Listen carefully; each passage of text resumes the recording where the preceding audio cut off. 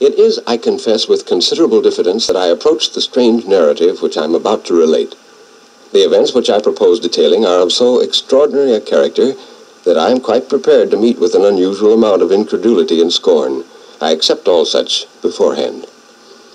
I live at number 52A 26th Street in New York. The house is, in some respects, a curious one. It has enjoyed for the last two years the reputation of being haunted.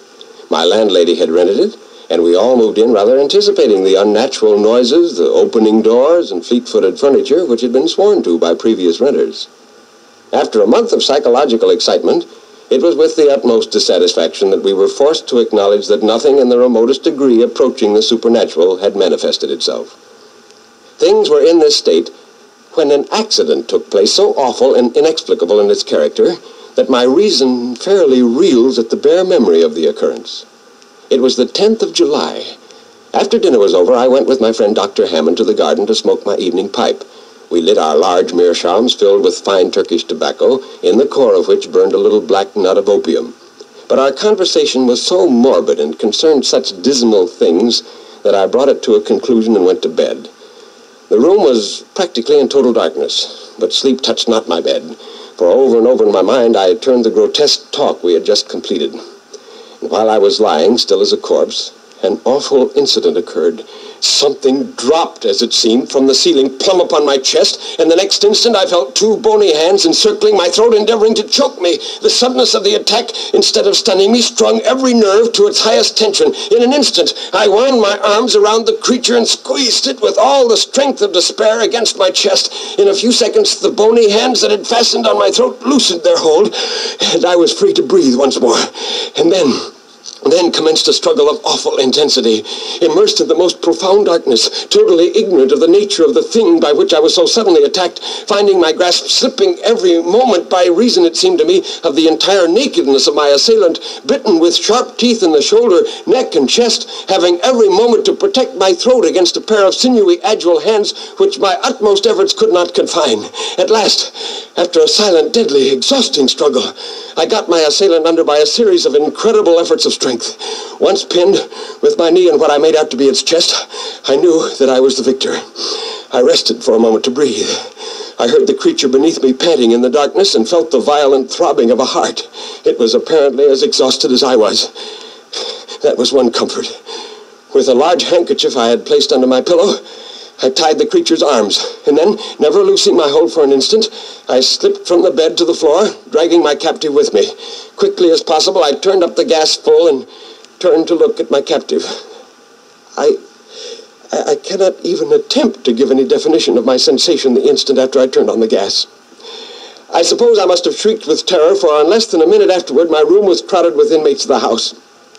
I shudder now as I think of that awful moment. I saw nothing. Yes, I had one arm firmly clasped around a breathing, panting, corporeal shape, my other hand gripped with all its strength a throat as warm, as apparently fleshy as my own, and yet I absolutely beheld nothing, not even an outline, a vapor.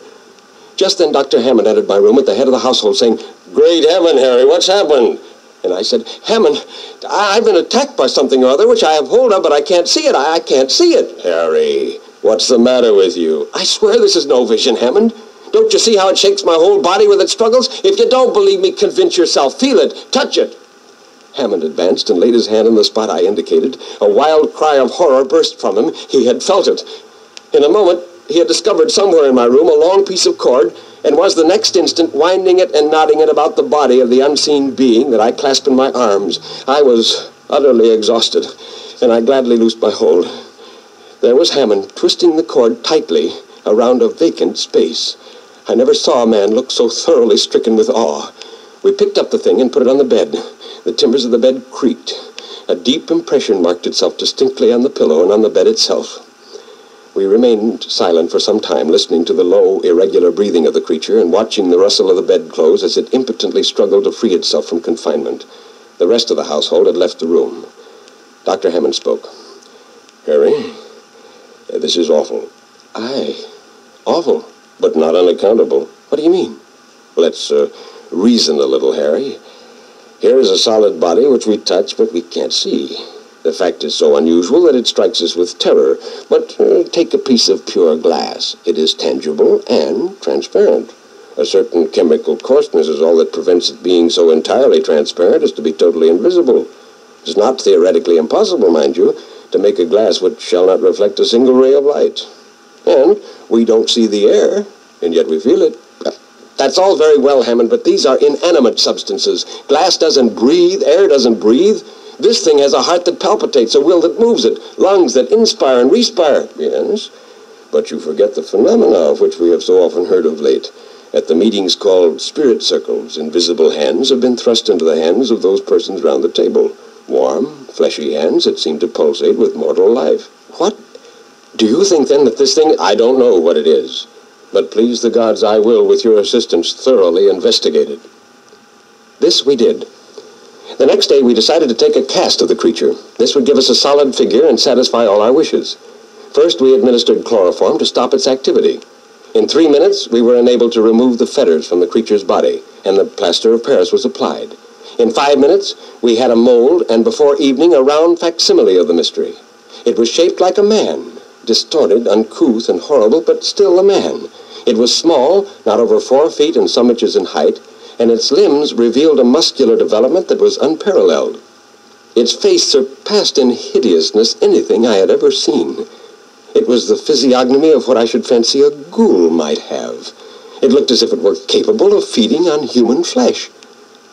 Having satisfied our curiosity and bound everyone in the house to secrecy, it became a question what was to be done with our enigma. It was impossible that such an awful being should be let loose upon the world. I confess that I would have gladly voted for the creature's destruction, but who would shoulder the responsibility? The most singular part of the affair was that we were entirely ignorant of what the creature habitually fed on. Everything in the way of nutriment that we could think of was placed before it, but was never touched. It was awful to stand by day after day and see the clothes toss and hear the hard breathing and know that it was starving. Ten, twelve days, two weeks passed, and it still lived. The pulsations of the heart, however, were daily growing fainter, and had now nearly ceased. It was evident that the creature was dying for want of sustenance. While this terrible life struggle was going on, I, I felt miserable. I couldn't sleep. Horrible as the creature was, it was pitiful to think of the pangs it was suffering. At last, it died. Hammond and I found it cold and stiff one morning in the bed. We buried it in the garden. It was a strange funeral, the dropping of that viewless corpse into the damp hole. The cast of its form I gave to a museum on 10th Street in New York. As I am on the eve of a long journey from which I may never return, I have drawn up this narrative of an event the most singular that has ever come to my knowledge.